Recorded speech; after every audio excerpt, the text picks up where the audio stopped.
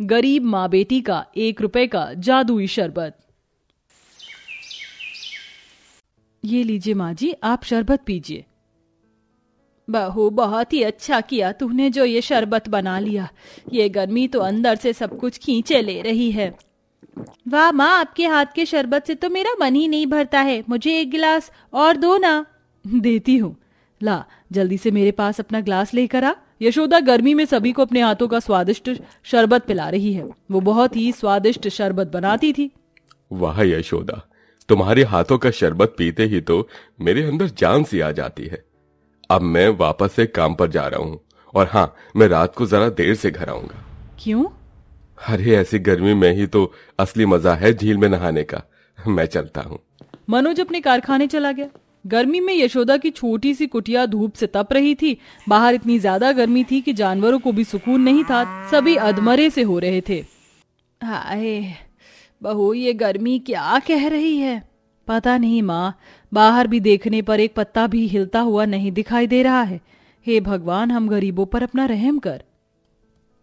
सभी गर्मी से पनाह मांग रहे थे। ऐसी गर्मी बस यशोदा जैसे गरीबों को ही सता रही थी जिनके घर में एक पंखा तक नहीं था। ऐसे ही गर्मी में किसी तरह से दिन कटे और अब बारी थी रात की।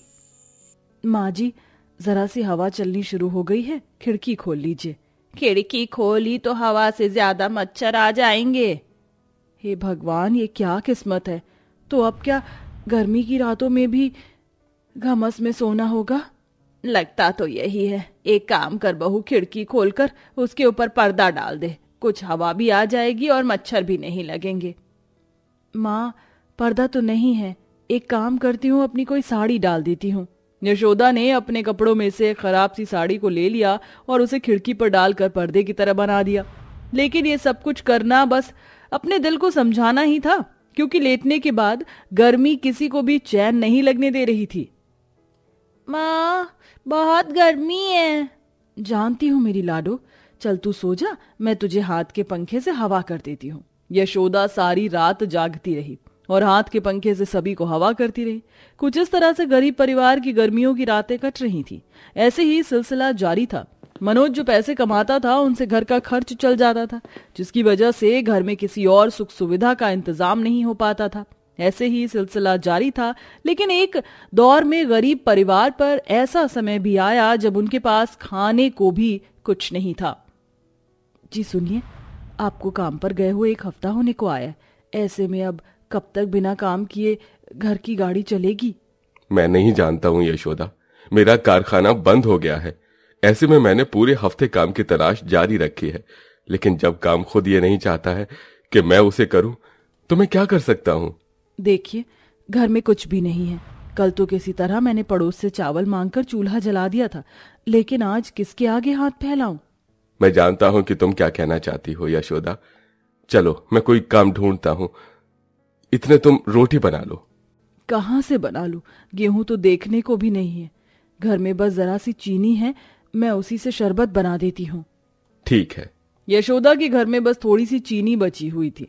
उसने उसी को पानी में घोलकर शरबत बना दिया। आज उसके घर में खाने को कुछ भी नहीं था। सिर्फ़ एक जग शरबत ही था, जिससे यशोदा को सभी का पेट भरना था। उसने अपनी सास, बेटी और पति को एक एक गिलास शरबत दिया।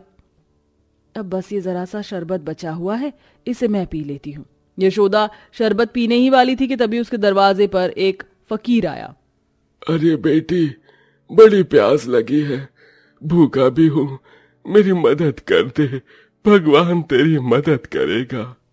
अरे बाबा आप बैठिए। मैं आपके लिए अभी एक गिलास शरबत लेकर आती हूँ। यशोदा ने अपने हिस्से का शरबत उस फकीर को पिला दिया। शरबत पीकर वो बोला बेटी तेरा शुक्रिया। तूने मेरी प्यास बुझाई है। भगवान तुझे इसका इनाम देगा। इन बड़ी बड़ी हवेली के लोगों ने एक गरीब की मदद नहीं की, लेकिन तूने की। भगवान तेरी मदद करेगा। जय भोलेनाथ। बाबा बहुत ज़्यादा खुश हुआ और उसने मन ही मन में यशोदा को एक आशीर्वाद दिया। यशोदा उस आशीर्वाद के बारे में नहीं जानती थी। वो उसे शरबत पिलाने के बाद वापस से रसोई में आई। जो चीज़ जिसके नसीब की होती है, वो उसे ही मिलती है। कौन जानता था कि मेरे इस थोड़े से शरबत में उन बाबा का भी हिस्सा होगा? यशोदा ने खुद से ही ऐसे बोलते हुए उस जग में झाँक कर देखा जिसमें उसने शरबत बनाया था। हाँ? पूरा का पूरा जग भरा हुआ है? हैं? पूरा जग भरा हुआ है? लेकिन कैसे? यशोदा ने जग में से एक ग्लास शरबत निकाला। वो बहुत ही खुशबूदार और स्वादिष्ट लग रहा था। उसके एक ग्लास शरबत निकालते ही उसमें वापस से उतना ही शरबत बन गया। ये क्या हो रहा है?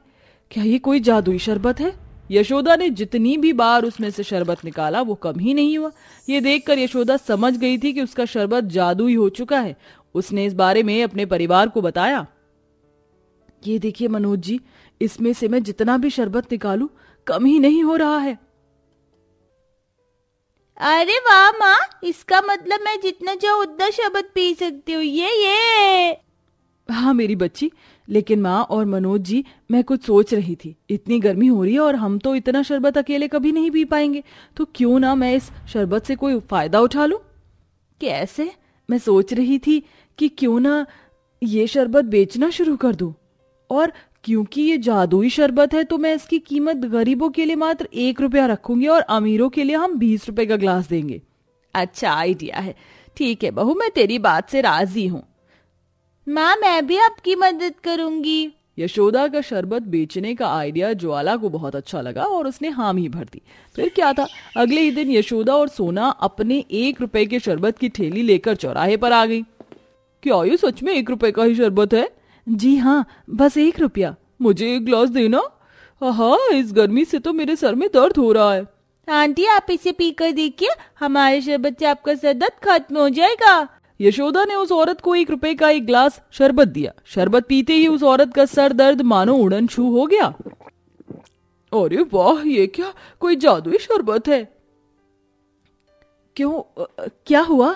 इसे पीते ही मेरा पूरा सर दर्द खत्म हो गया। अच्छा। वो औरत ऐसे ही खुश होते हुए चली गई।